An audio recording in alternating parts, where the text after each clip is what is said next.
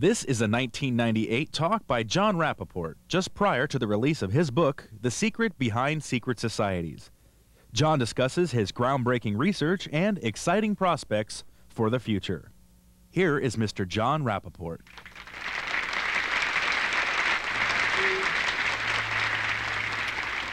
It's great to be here to be talking about something that took me 30 years to put together. That's a long time.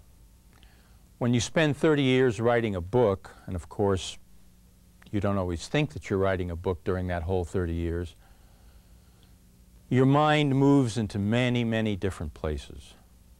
You think of many different things. And in fact, you collide with yourself at various times, and that's what happened to me. I'm going to try to boil down three or four hours of conversation here into 45 minutes and describe something about my new book, The Secret Behind Secret Societies, subtitled Liberation of the Planet in the 21st Century. I started off as a painter in 1961 in New York. I was so entranced by the idea of painting on canvas that I had to do it despite the fact that I had no background, no training. And as far as anybody could tell, uh, in elementary school, I was always the worst, the person who couldn't draw the face. But something grabbed me. I went and saw some artists' studios, some friends of mine in New York. They painted large. And uh, I became overnight addicted. What can I say? I became a painter. And I didn't really care that I didn't have the schooling. I was living in New York City. I went to the Metropolitan Museum, the modern art every day. I looked at work from medieval painting, the Impressionist period, the Post-Impressionist period, modern art, wandered through the halls of the Egyptian and Assyrian statuary. That's how I educated myself after I had already graduated from college as a major in philosophy. And I basically painted for 15 or 20 years, let's call it exactly 21 years, before I seriously began to write as an investigative reporter. And during those 20 years as a painter, I came to understand in my bones what the idea of creating, imagining, inventing meant. It meant basically having a new lease on life every morning when you woke up. But there were a lot of pieces to my particular puzzle that in 1961 were not filled in. Far from it. I just knew that I had a tremendous desire to paint, to be an artist. And when I looked at my own work, my imagination ran riot as to what it meant because it was mainly abstract. In 1982, I began working as an investigative reporter. I had been writing poetry and had gotten published as a poet, and I was interested in the imagination. I had been doing research, you might say, as a painter on the imagination for 20 years. But it had gone beyond just being a painter. Something inside me said, the creative faculty, the power to invent and imagine on this planet has somehow been undermined because each one of us has that capacity to a much greater degree than we think is possible. Way beyond what we conceive is our actual power. And I sensed as a painter that when we talk about the imagination or invention or creation, we're not talking about something on the periphery of our lives. We're talking about something in the core of our being the central part of our being. If you don't think you have an imagination, pretend you do.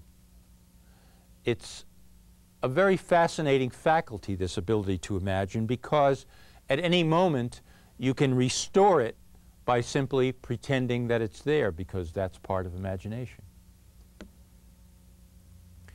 I began writing articles for the LA Weekly in 1982. I happened to know somebody who was interested in the nuclear issue, was an expert. I had a friend working on the LA Weekly newspaper, and she said they were looking for an article about that. And I said, Well, I can do that. And I interviewed this man, and I got a check in the mail, and they put the story on the cover. I said, Well, that's pretty easy. I can support myself as a painter. I had had one or two shows, but I really wasn't making a lot of money. I said, I'm going to do this. I'm going to write articles. And I began writing on a regular basis for the LA Weekly. Something happened. Something that it's you'd want an hour, two hours, three hours to describe the personal drama of it. But basically, over a period of 10 years, I discovered that the world was rigged. To say I was naive before then would not really be true because I, I, wasn't naive, but I didn't understand the details.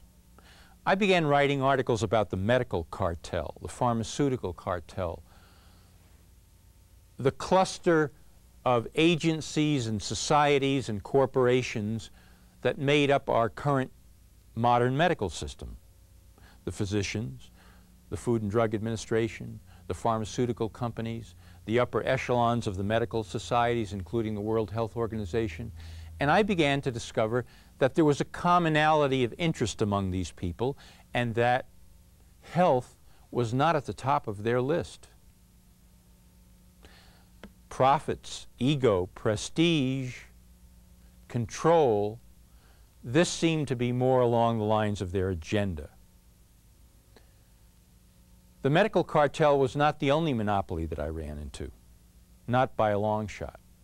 There was the monopoly of information, the media, the monopoly of intelligence, the CIA, the weapons monopoly, the arms manufacturers, and so on and so forth. And this handful of monopolies together composed a transnational structure of corporations and governments and storefront operations, you might say, for the governments and the corporations that led to a massive agenda, an evolving agenda of world control. This was quite disturbing to see it in its details. And I'm going to give you some of these details just so you can get a flavor of what it might be like to discover this for yourself from scratch. Let's go to the medical cartel because I've been very active over the years as both a journalist and an advocate and ran for Congress in Los Angeles in 29th District in 1994 on the basis of each citizen should have the right to choose alternative health treatments of their own liking for themselves, should not be able to be coerced by any government idea of what health and medical treatment actually consists of. And the government, for a long, long time in this country, has been threatening on that front and has taken away the rights of citizens to choose. So when I began to investigate this, here are a few factoids that I came across. These are factoids that are verifiable. Number one, in the United States over the last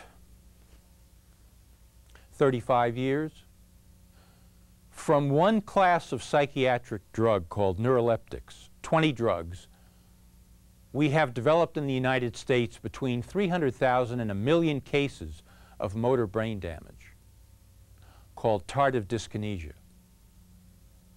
Number two, the AIDS drug AZT, taken by perhaps two to 300,000 people worldwide, creates the basic symptoms of AIDS,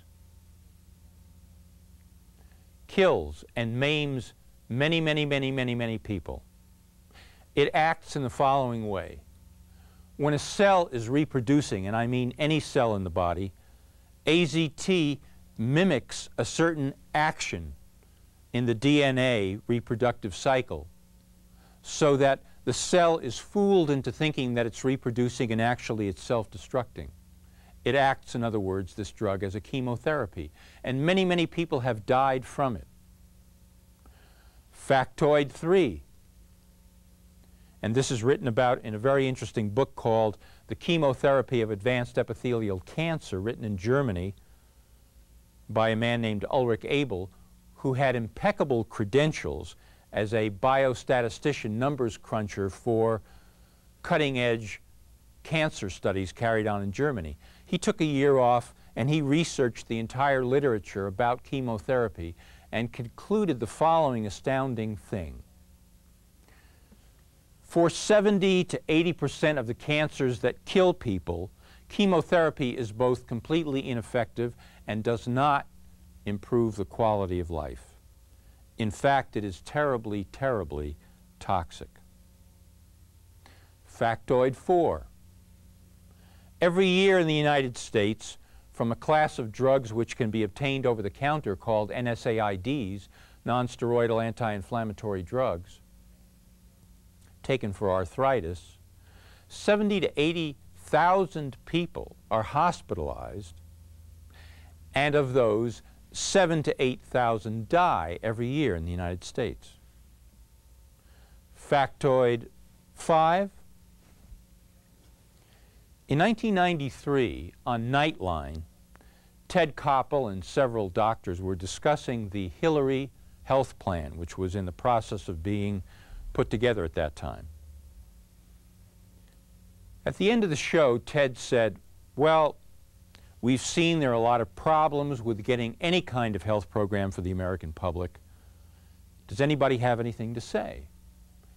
And an OBGYN MD, friend of Ted's named Herb Kaiser, piped up, Yes, Ted, as a matter of fact, one of the things we really have to think about is that no matter what kind of health plan we have for America, we have to solve certain medical problems, such as Every year in the United States, there are 10 million unnecessary surgeries from which 50 to 60,000 people a year die. Excuse me? Let me repeat that again. Every year in the United States, between 10 and 15 unnecessary, million unnecessary surgeries from which 50 to 60,000 people die. That's more people every year dying than all the Americans that died in the Vietnam War. And Ted says, his mind racing behind his mouth, well, Herb, I mean, if that's true, I mean, if, if that's true, Herb, then, I mean, that's astounding. 10 to 10 to 15 million unnecessary surgeries a year, Ted. The show was just kind of stopped, you might say. Freeze, pause, stop. Well, let's go on, and they carried on the conversation. It was too staggering to believe. Now, try to imagine that you as a reporter, in this case I, being an investigative journalist, I've been writing articles now for several years for newspapers and magazines around the country. This is in the 80s. Was nominated for a Pulitzer by the LA Weekly for coverage of the military takeover at the University of Salvador. And I happened to come upon this thing called the medical cartel. And gradually, I begin to uncover these factoids and many others as well. I can't tell you how many toxic drugs I discovered and began to flesh out in terms of how many Americans they affect. But just from the five facts that I've given you today, ask yourself the question, how would that make me feel to be the possessor of that information and not know who to tell it to, not know who would publish it, and then to begin to think, how many Americans does that actually affect?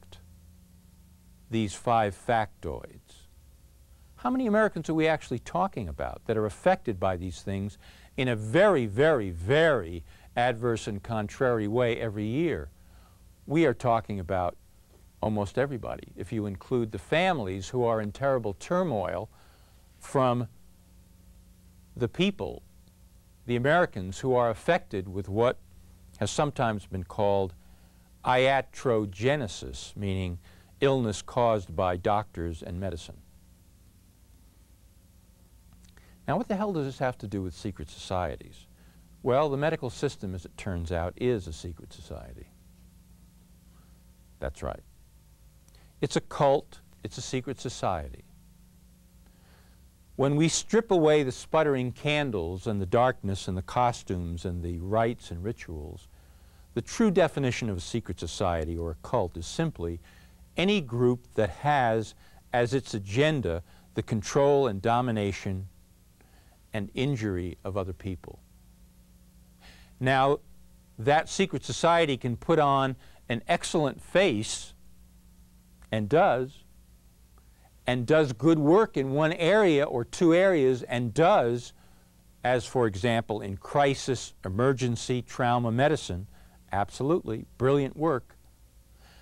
That makes the whole deception even more complete because the maiming and the, the death, the destruction of lives is not noticed. And if it's noticed, it's not believed.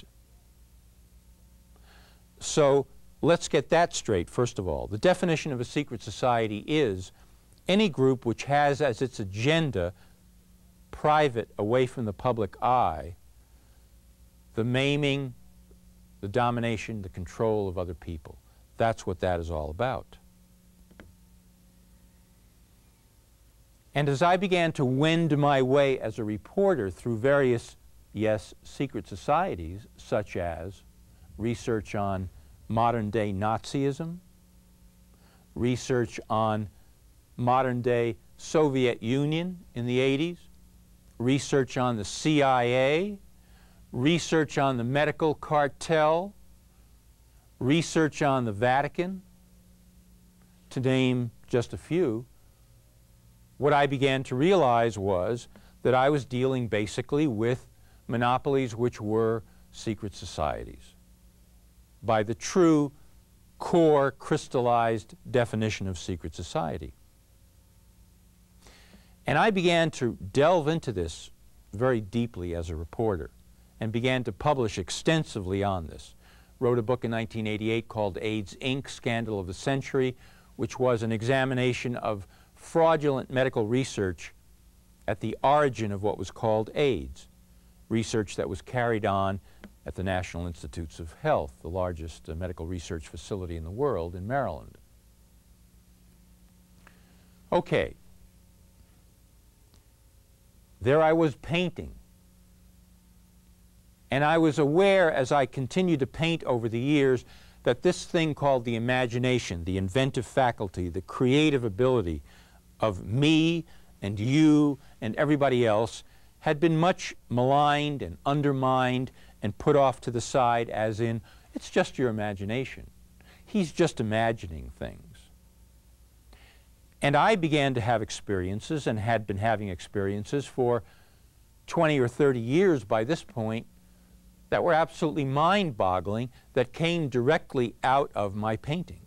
The experiences I'm talking about are altered states of consciousness, where in the twinkling of an eye, literally, I went from being my normal self to being someone who was moment to moment completely ecstatic about existence.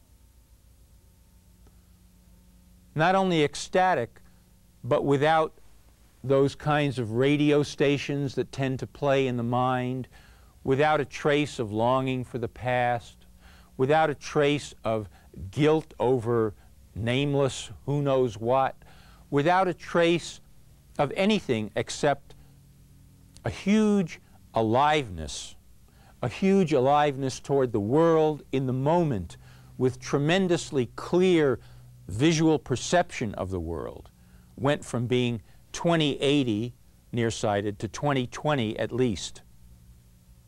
the emotional level was absolutely exhilarating and marvelous.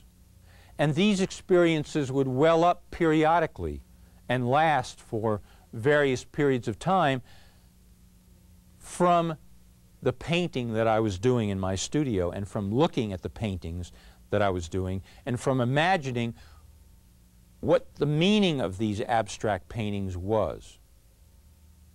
So by the very act of creating a painting, a world, a space, a universe, take your choice however you want to describe it, and from filling it with the energy that I was as a painter, my life was completely transformed. Non-stop. No little local stops along the line. My relationships with people improved overnight. My connection to the world and my certainty about who I was and what I was and my capacity to move forward as a reporter was even based on a certain kind of confidence, tremendous confidence that arose out of painting, the creative act. And I could describe a number of other mind-boggling experiences. I was lying in bed one night, 1990, and suddenly I was involved in doing some techniques of creative imagination, visualizing that I had developed and was researching over a 20-year period while I was painting. And while doing one of these exercises, I suddenly felt like absolute silk is the only way I can describe it.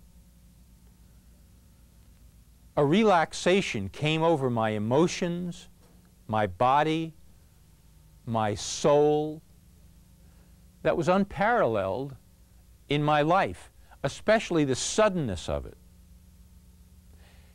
And I knew that if wisdom was the name of the game, and it really wasn't, that I could produce wisdom from here to the moon like little toys taken out of my pocket and offered to people.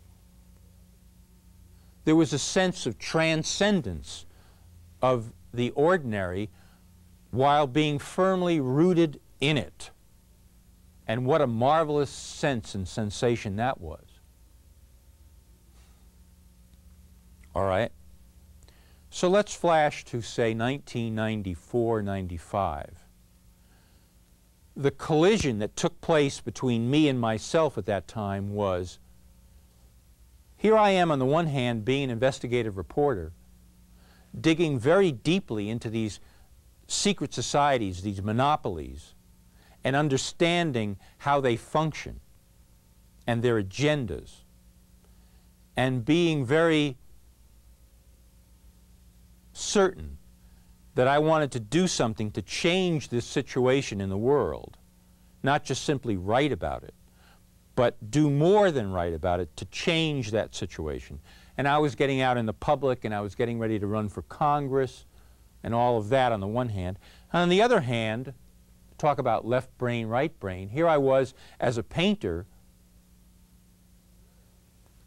putting up these works of imagination that were totally transforming my life.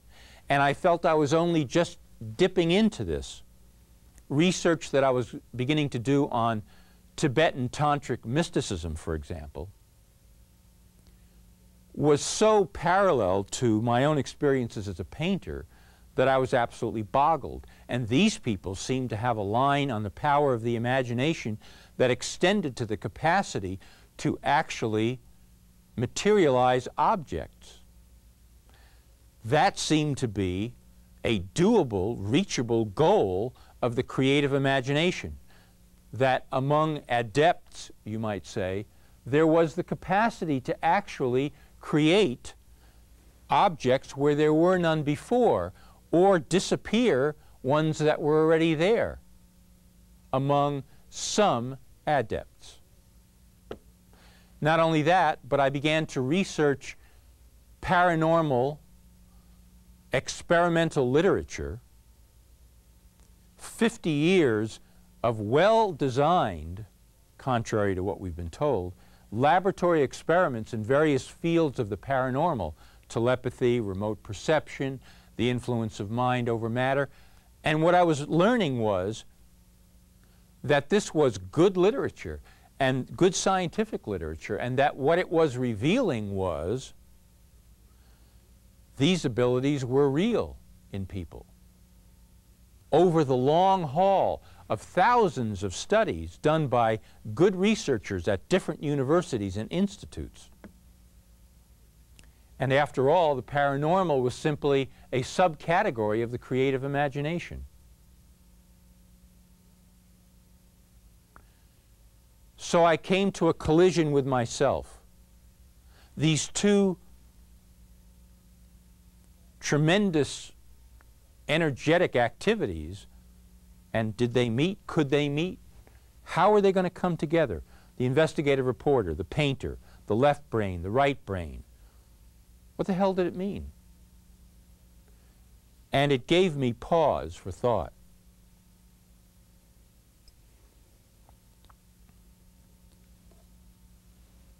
And then gradually, over a six month period,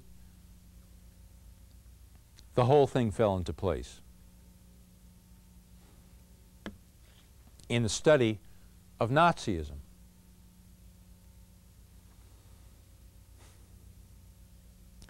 Without going into the details of the Nazis' relation to the occult and how the Nazis really were a cult and a secret society, I'll put it to you this way. The Nazis and every other secret society and cult, by my definition, at its core was composed of artists. Oh yeah, big time perverse artists whose ambition was to create a universe of art that would seduce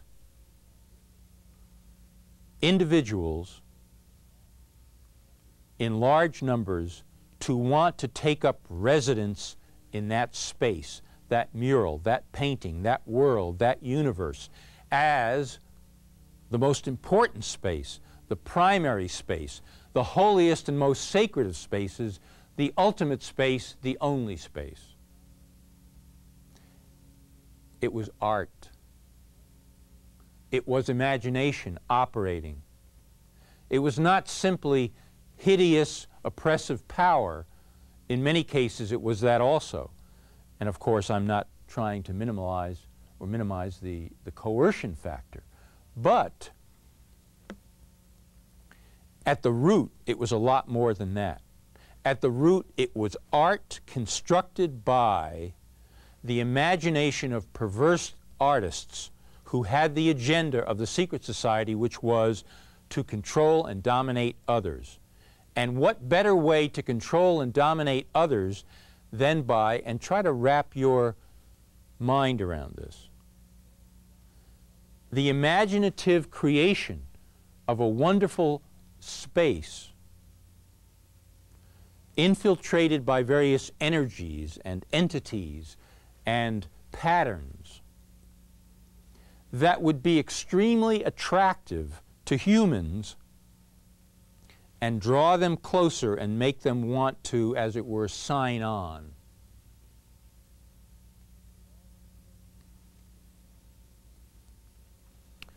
That was an explosion in my mind that discovery.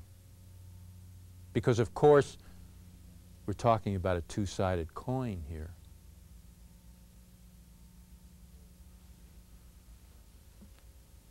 This has never really been articulated well before. And so I hope that you're tracking with me here. I'm spelling it out lucidly. You see, you have tremendous inner capacity called creative imagination. And that creative imagination can make for you by your using it. It's not some independent thing that just operates on its own. It's you in operation creating makes for you futures that you want, events. It gives you a wider scope of the planet It gives you a sense of being able to contribute to the change of this planet for the better. It operates on the level of personal finance and abundance. It operates on the level of health in being able to up your level of health considerably. It operates in the level of consciousness and the raising of consciousness into realms that we have used words for like enlightenment and uh, salvation, if you want to get into a religious uh, mode, and so forth. It has just tremendous capacity. Capacity we don't even begin to understand because we as a race, we as a species, have bought in to tick, tick, tick, tick, tick, tick. Let me live in your space. Let me live in the space created by the Vatican. Let me live in that heaven populated by many entities. Let me live in a space in which we have marvelous ranks and echelons and hierarchies of power and dominion and authority. Let me live in a space, let's return to Nazi Germany, end of World War I, money in wheelbarrows, unable to buy bread, the humiliation of the German people thinking they were going to conquer Europe, and here they are rooting around in the rubble.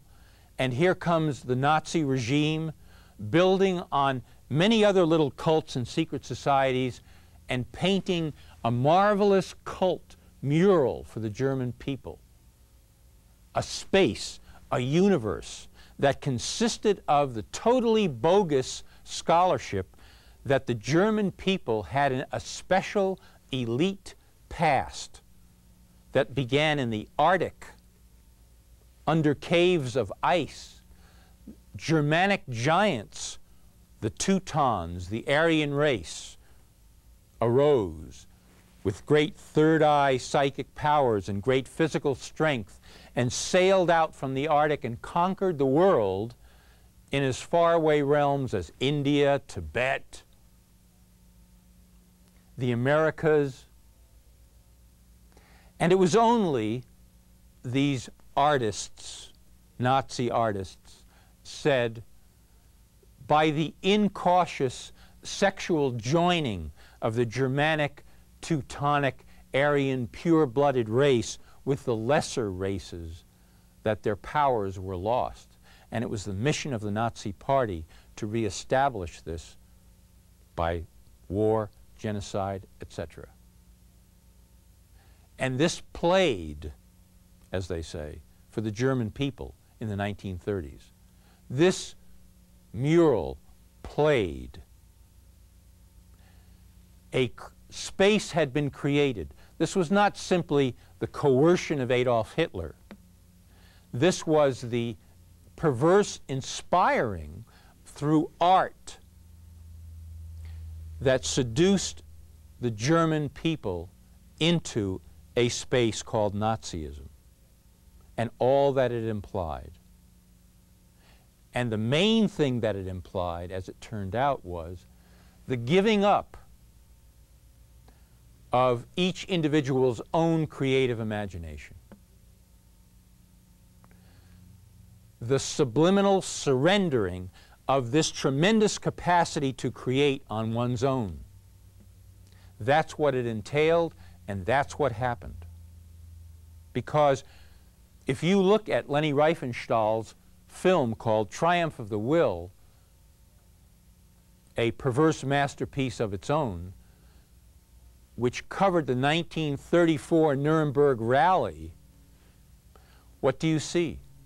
You see a couple of hundred thousand Germans lined up as soldiers, workers with shovels, and children with banners in squared up regiments as far as the eye can see. And on a podium on top of a stage, on top of a platform, on top of elevations artistically constructed by Albert Speer, the master architect of Hitler, there was Hitler and Himmler addressing what? This field of ciphers, of nobodies, of people ready to lay down their lives and die for Hitler. The transition from, we will make you into a god, you live in our mural, and we will restore to you the special ability and the marvelous power of the past Germanic race. And once everybody had signed on, what did they get? Robothood. That's what they got. They got no imagination. They got the loss, the burial of their own creative capacities. That's what they got. And that's what they got in the Soviet Union, and that's what the Holy Roman Church imposed on the world in the Middle East at the death of that magician called Jesus. And that's what has been imposed to a degree on the United States by secret societies like the CIA. And with its own minimalist art, that is what is in the process of being imposed upon the planet by a very powerful regime evolving into more and more power called transnational corporations. They are each a secret society. They each rely on artists to create a universe of art, of imagination. And in every case, what they result in doing is burying your imagination. And you sign on. You agree. You allow it to be so you forget. You find yourself in a position of no longer having the cognizance that you have that kind of creative power and that this creative power can be applied across the board through life in every sphere, in every way, from here to eternity and how fantastically thrilling it is when you do apply it. And an operational definition of imagination could be, for you, the things you don't know you can now do in your current status quo. Whether your status quo is on a scale from 0 to 10 at 0 or 10, it doesn't matter. Imagination is that capacity to create that goes beyond anything that you currently think you can do. That's where imagination takes you. And that's why it is the key, the master key, to the unrolling adventure called life at its greatest height. Let me tell you a little story about psychology just to give you an example of how creation applies here. The world of psychology and psychiatry is basically another secret society. And I don't mean to sound like I'm the kind of person who makes everything into a secret society because I'm not. But it so happens, and I've researched those fields as part of the medical cartel, it so happens that those fields do a funny thing. They give you a universe of neurosis and sibling rivalry and childhood sexual repressed fantasy and basically say that you are what you are because of your past and only by repairing that can you aspire to something more. That's absolutely false. There's a man named, or was, J.L. Moreno, M.D., who founded something called psychodrama, which was basically applying theater to therapy, art, imagination. And I'm not going to try to spell that all out. But he had a patient, a 15, 16 year old boy, lived in New York, large Italian family, who said that he was Jesus Christ. And the family came to Moreno and said, What can we do? And Moreno said, Look, if you do what I say, you have a chance of succeeding. And what he said was, I want you to play along. And they said, What? Play along, exactly. I want you to play along with the idea that your son actually is Jesus Christ by becoming the apostles. and they talked about it and they argued about it and they finally decided, all right, we'll do it at dinner. Every night we'll be the apostles. Because the doctor says it might help. And so, in a nutshell, here's what happened. Every night, whether it was past the butter or profound discussions about the Bible, it didn't matter. It was all about the boy is Jesus and we're the apostles. And that's the way we'll play it. And they did. After three months, he got tired of it and dropped it. And he was perfectly normal after that. That is, he was just himself. No therapy, no drugs, no remembrance of things past, no anything except the substitution of imagination for ordinary life. The master key. And in this case, because it was applied to a specific situation, it resulted in resolution in a thrilling way. He wanted to be Jesus, and so he was. It was his imagination all the time, at the core. After all, regardless of why he did it, he created himself as Jesus, theatrically. And his basic problem was not that he was neurotic, not that he was psychotic, but he couldn't get anybody to go along with him. That was his problem. Do you see? And it was resolved by constructing a theater of the imagination in which he could play it out, and he won. That's what happened. And for the last 20 or 30 years, what I've been involved in is researching ways that we can bring our imagination, our creative capacity to the fore in every sphere of life to the farthest extent possible. Not eliminating the possibility that you could look at this glass and make it disappear.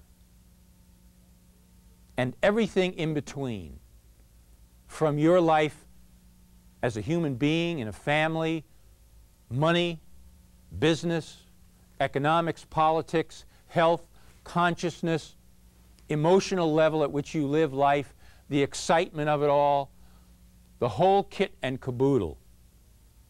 That is my work. That's what I do. The purpose of this work is very simply stated to increase the power and the scope of the imagination. That's what it is. That's what I do. And I construct situations, education, at what I consider the most profound level, techniques and exercises that will increase the power and the scope of your imagination. And coupled with the contextual understanding and background of secret societies and how this planet has been affected by that in the way I've described here today, it's a whole new ballgame. And in this 45 minutes, which is about up, I've only had a chance to scratch the surface and to just begin to warm up to the subject to tell you that there are fantastic things in store for us if we'll truly understand what has been happening on this planet for the last 10, 20,000 years. And if we will move to the fore with our own creative imagination to the fullest degree. The book is called The Secret Behind Secret Societies. It's subtitled The Planet, really. Let's just say it's subtitled The Planet, because that is what's been going on. Subtitled Liberation of the Planet in the 21st Century. My name is Jon Rappoport. I'm investigative reporter. I appreciate your time. This is what we've been talking about today, and there'll be a lot more very soon. And uh, it's been very nice being with you. and. I'll see you soon again. Thanks very much.